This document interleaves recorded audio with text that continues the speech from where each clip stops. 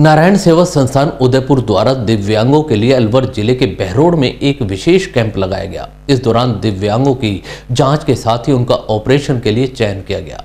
वहीं उपकरण भी वितरित किए गए। संस्थान से जुड़े डॉक्टर अरविंद गोस्वामी ने बताया कि इस शिविर में नारायण सेवा संस्थान से आए विशेषज्ञ डॉक्टर आर एस गुप्ता द्वारा 110 दिव्यांग जनों की निशुल्क जाँच की गई। इसके अलावा परामर्श के अनुसार उन्हें ट्राईसाइकिल व्हील चेयर बैसाखी, वॉकर और श्रवण यंत्र आदि उपकरण दिए गए।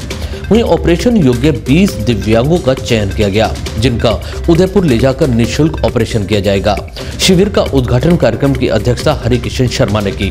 कार्यक्रम में विशिष्ट अतिथि के रूप में रघुवीर सिंह, डॉक्टर विनोद यादव, डॉक्टर अरविंद गोस्वामी और भवानी सिंह शामिल थे। इस कार्यक्रम में नारायण सेवा संस्थान की अलवर शाखा के अध्यक्ष आर एस वर्मा, उदयपुर से आए प्रभारी हरि प्रसाद लड्डा आदि उपस्थित रहे। इस कार्यक्रम के अंत में आत्मीय स्नेह मिलन समारोह आयोजित किया गया, जिसमें समारोह में आए सभी भामाशाहों का मेवाड़ की पगड़ी पहनाकर सम्मानित किया गया, जबकि मंच संचालन पंडित अशोक बोहरा द्वारा किया गया।